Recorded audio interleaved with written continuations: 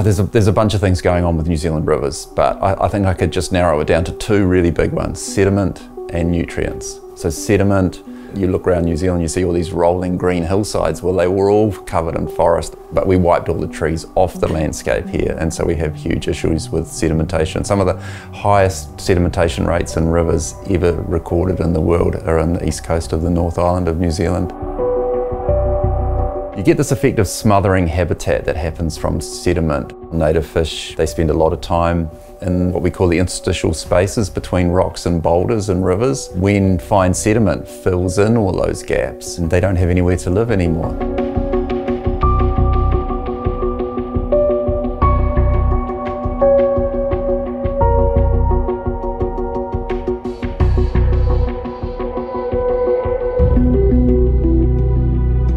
But the, the other biggie that's from agriculture, modern agriculture, intensive agriculture, it's, it's nutrients and mainly nitrogen for our rivers that's the problem. The nitrogen, in the same way that it grows grass in the paddock, it grows algae in the river. So you get a big buildup of algae, which smothers the bed. So they, they lose habitat, but worse than that, the algae uses up oxygen. And so you start getting big fluctuations in oxygen, and that's the killer.